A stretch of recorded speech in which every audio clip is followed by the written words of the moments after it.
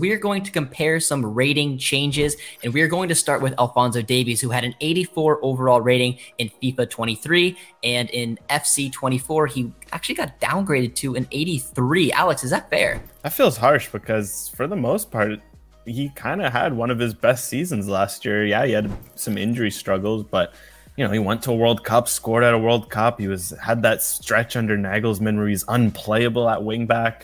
It feels harsh all around, especially his pace is kind of downgraded. Because at one point his pace was 96, and now he's 95. You can ask Mo Salah from preseason; he hasn't gotten any slower. Last time I checked, you could argue he's gotten a bit faster. So overall, it was just a bit puzzling to see the downgrade, especially that he's now 95 pace. You can't tell me that you know, maybe Kylian Mbappe slightly faster, but two whole pace ratings faster than Davies. I, I, was a bit surprised by that. I know it wasn't an entire season, but because of the spell he was doing under Nagelsmann, he was at an elite level. There was comparisons out there that he's the best left back in this game. So he does, you know, his. I think it's not even about him getting downgraded for FC 24. It's the fact that even 84 for FIFA 23 was already too low. So super unfair to the Canadian star. But one Canadian star kind of got shafted a little bit. The other one, he got upgraded, but maybe it wasn't enough. And that's Jonathan David, who in FIFA 23 was a 79 overall. He bagged 24 goals in league play last season, and he got upgraded to an 81 in FC 24. Is that a little bit more fair, Alex? Jonathan David had a great season last year, scored a lot of goals, one of the top scorers in League Uh, I think him having a lower rating is more reflective of kind of how League Uh is viewed, and that's fair. They've struggled in Europe uh, lately. Their coefficients dropping. They've kind of been, you know, battling with the Eredivisie uh, to even be a top five league and the Portuguese league by coefficients. Um, and he still has a good card that reflects his season. He's, he got good shooting. They gave him the weak foot again, which is a big part of why his card is fun, especially later in the year where when he got that team of the season and those sorts of cards last year that can be really fun with the five star weak foot. So I think it's more of a reflection of, of, you know of the league he's in. Although it does feel like maybe he could have earned an 82 or even an 83 based on the fact that he pushed 20 goals last year. I mean, am I biased? Yes, but 24 goals is an incredible mark. I know that obviously, I guess Liga isn't looked on that highly, but I just I was expecting an 83. It's not like you know he scored 13 and then 15. It's like he he put up a huge amount of numbers. 24 goals is no smart small margin, and I'm just super surprised that it was just an 81. But I guess I'll get over it. But the next player we're going to move on to is Stephen Eustáquio, who got another bump he went from a 76 for his last card, and then this season he went up to a 77, and I think that's pretty fair. Yeah, it's good growth. He had a good season. You know, started scoring a lot more, and I think you see it with his his stats. He's got you know some good off, you know, solid 60s, 70s, and across the board. I think that reflects him pretty well as a player. He's very balanced, and kind of play all over. No complaints, and hopefully he can keep performing and keep pushing maybe towards a you know an 80 within the next year or two. I mean, he started for Porto in the Champions League last campaign. Hopefully, he will do so again. He took on that number six, so definitely his confidence is improving. Another player who improved as well, and this one was maybe a little bit on on the cards for a bit. It was Cyle Larin who had a 74 last season. This year he goes up to a 75, but it was simply because he had a very very hot end to his season in La Liga. Yeah, it was all that Real Valladolid stint. You imagine maybe based on the start he had with Bruges that uh, you know he was he was due for a downgrade, but he heated right up, and I think that's fair to give him a gold card. You know, he went in La Liga and you know scored a, a lot of goals in a short time on a relegation starved team. I mean, be interested to see what happens now with this slow start to Mallorca, but he is someone who can score. Uh, in that league, and hopefully he finds his feet sooner, sooner rather than later to, to show that he was worthy of that gold upgrade that I felt was pretty deserved based on how the second half of the season went. I totally agree. And now it is time for the biggest upgrade for the men's players, Alistair Johnston. And I, I, feel like it was known. He was a 70 overall last campaign. He went up to a 75 for FC 24, got the gold card. And again, like kind of like Cyle Larin with his second half of the season, this came from my opinion from Celtic. That move completely changed him. He's one of the best defenders in that league, and he's continuing on this season already. Yeah, and I think especially after the move from Montreal, because he was doing very well at Montreal as well. But as we've seen in MLS with these cards in the past, it's hard to get a gold unless you have already come from Europe as a you know gold player already. Um, it's it's hard to make that jump within MLS, so it makes sense. Johnston leaves, and he was just so good at Celtic. He's already arguably one of their best players. Even you know this week to make their Champions League debut, he was one of the best players on the pitch in a rough loss for them. A couple red cards uh, hurt them on the day, uh, so it, it, feels deserved, and it's good to see him as a gold. And um, you know, he's got good pace. He's got good defending stats. He could be a very versatile uh, right back option for sure. He absolutely can, definitely deserve. But I, am a little bit annoyed with the Davies and I was a little bit annoyed with the David, but this one really, really grinds my gears, Alex. And that is Maxime Crepeau, who last season with LAFC did the league double and broke his leg in the final to help his side win MLS Cup. And they downgraded him from a 74 to a 73. I don't. I literally don't see the reason for it. Extremely harsh, uh, you know, especially with the injury. Like at worst, keep him at the same level, but you could argue he would almost be due for an upgrade of sorts based on uh, you know his the, how the season went for for LAFC. Um, but you know he was flirting with a gold card 74. Instead he he goes down to 73. I felt that was extremely harsh, and hopefully with Crepeau's return, he can uh, work to push towards that gold card like he was on track to do before the injury. Now, at time of recording, Ismail Kone just came off a fantastic performance against West Brom. Definitely his best performance so far of the season. And he's been upgraded from bronze to silver. He went from a 64 overall to a 67. And I think that's pretty fair as well. Yeah, and especially because he was, he started his pro career at the beginning of 22. Like he's, this is what, like his, his third FIFA or EFC he's, he's been in, right? Third iteration of this game, I should say. Of course, with the transition between the, the names. Um, so look, it's something where sometimes the, the growth, you know, takes time. And the fact he's already a 67 this early in his career, I have no doubts that uh, eventually he could push towards a gold card. He's probably, he's definitely going to be a career mode favorite. And hopefully over time he can uh, become a decent little FUT card. Now, another career mode favorite may be Jayden Nelson, who had the second biggest jump for the men. He went from a bronze card to a silver card as well, but he jumped four from a 62 to a 66, and he's just getting started in Europe. Yeah, and it's a credit to the end of the season he had with TFC, and you know, since going to Rosenborg as well, he's continued to find his feet, and it's good to see him as well rewarded for his performances and. Uh, you know, as a young player, he's also one of those players that maybe in a few years we could be talking about a you know, an all if there's ever an all, all gold men's na- you know national team, uh, he'll, he'll his potential indicates he could be one of those players. Now these next two players are both center backs coming up, and they're both very different. So we have Steven Vitória, who had a fantastic campaign. He was amazing for Chaves. And he jumped up three spots. And it's a little weird because usually older players don't get that kind of jump. He went from a 69 to a 72.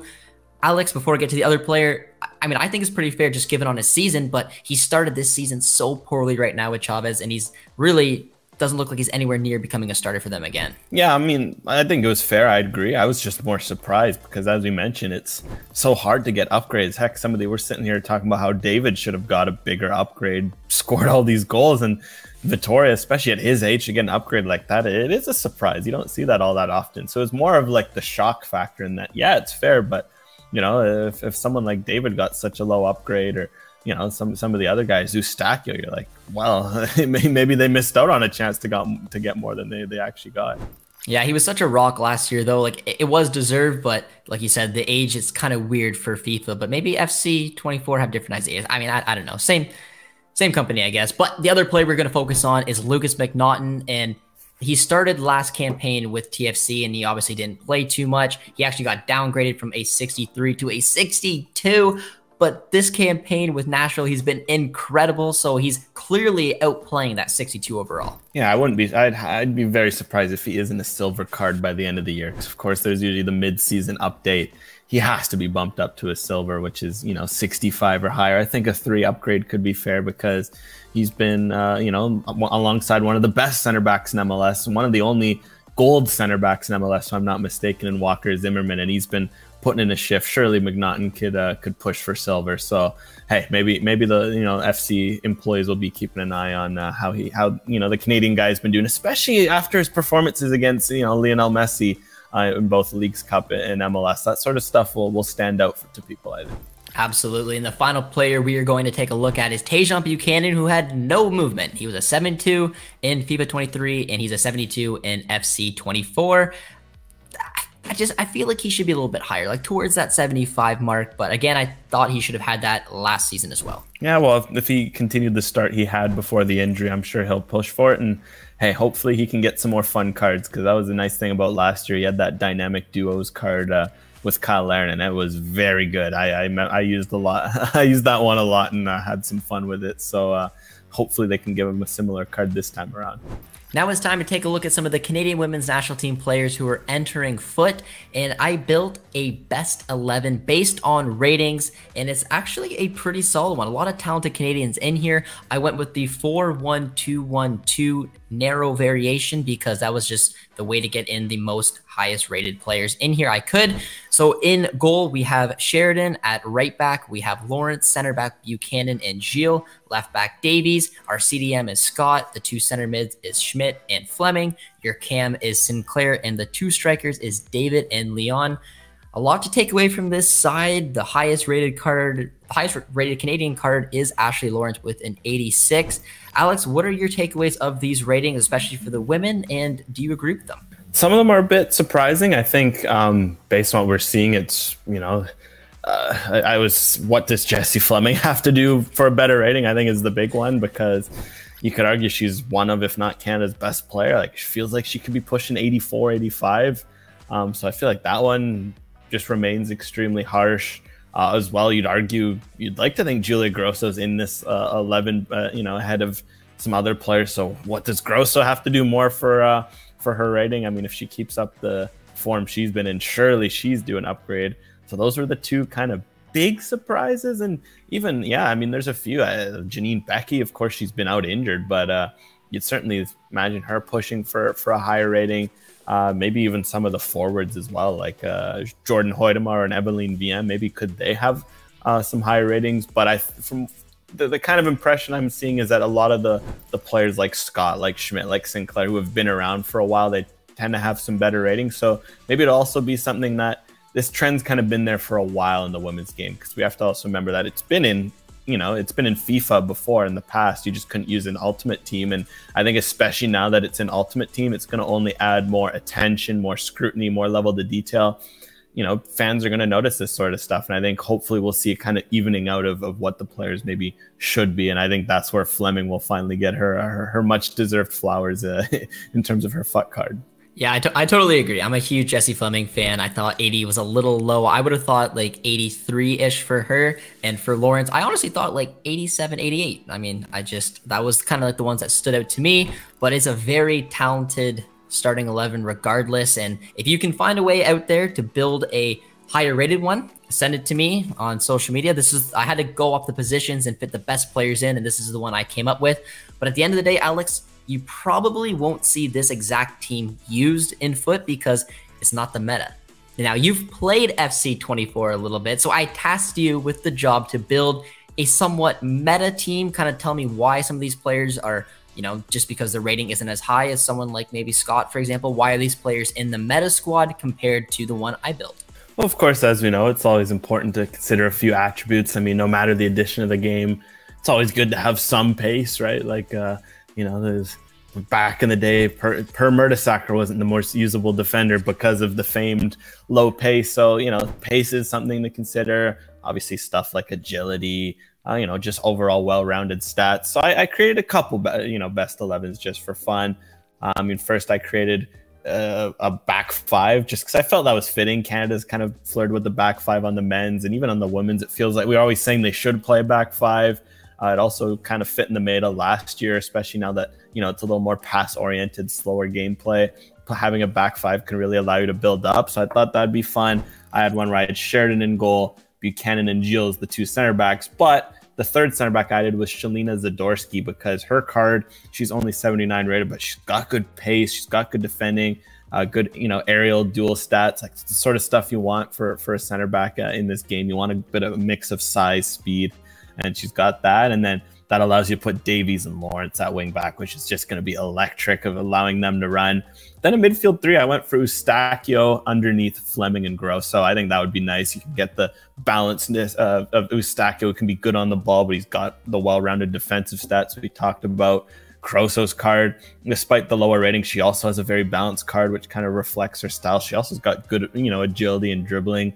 Uh, so you can, you know, she'll be very usable on the ball. Ditto with Fleming. And then I went up front, Larin and David, just because you kind of get the size of Larin this year. The gameplay is a bit slower. So, especially at the beginning, crossing is going to be important. Having a big figure like Larin uh, to put those home will be nice. And then you can kind of have David playing off of him. So, I went for 5 3 2 there. Then, as an alternative, I went to a similar 4 3 3 Uh, so the only tweaks there are that Gilles comes out just because Zadorsky's the speed and uh, the overall bounceness of her card. I have Zadorsky and Buchanan at the back, Davies and Lawrence, Sheridan. So similar back five. Eustáquio, Grosso, Fleming in midfield. So that stays the same. David leads the line. The only tweaks are um, the two new faces for Larin and Gilles are Nichelle Prince. She's just got a rapid card, great agility. She's going to be a, very annoying to deal with on the flank. And then similarly on the other side, you've got Janine Beckie, who has 86 points, similar or 86 pace, and a similar card where she's well balanced. She can, you know, cross and shoot, good agility, all that. So I think it could be fun to have those two ripping down the flanks with Lawrence and Davies overlapping them. Out of all the cards we looked at today, who do you think has the most right to be furious with their rating? I'm going to stick with Jessie Fleming. I think based on the season she had with Chelsea two years ago, uh, even she was still very good last year as well, even if she wasn't getting as many goals and assists. She's been so influential for Canada. It, it, feels just too low. I feel like she should be pushing. At the very least, you could convince me of an 83, 84. Um, but, uh, you know, anything less than it is just, it doesn't feel right. So, Fleming, I mean, certainly you know go out and have another good season make it undeniable to, to get a rating bump like that. But but for me i i've been perplexed with the fleming one for a few years now and that perplexion did not go anywhere when i, I saw the newest ratings. Now that's a fair shout. I'm going to go with jonathan david. It's not a surprise. 24 goals in liga. I don't i don't care. It's 24 goals in a top five league. He deserves to be higher than 81 i thought 83 even 82 would be a little bit more bearable but i thought 83 so i feel for my guy. But honestly another show it because I want to give it out there is Maxime Crepeau. If you watched our FIFA streams, you know how much Crepeau means to us. And like I mentioned, he broke his leg to help his side win MLS Cup. He did the league double and you downgraded him. It's just unacceptable. But let us know down in the comments which player you think should be the most angry about their rating, which one do you think should be the happiest. Let me know if you're excited for FC 24. And as always, if you enjoyed this video, be sure to drop a like, drop a sub. We'll see you guys soon. Cheers, friends.